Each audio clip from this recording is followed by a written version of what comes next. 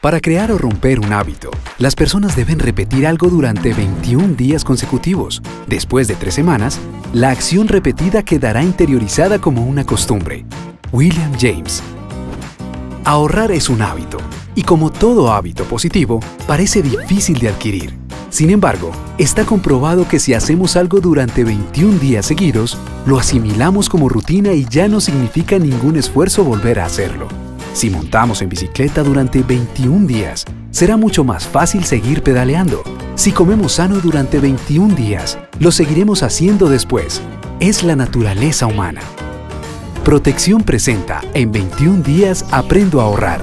Y para hacerlo, hemos invitado a Mónica Fonseca, quien durante tres semanas nos mostrará cómo cambiando algunas rutinas, ahorrar se vuelve algo simple, posible y cotidiano.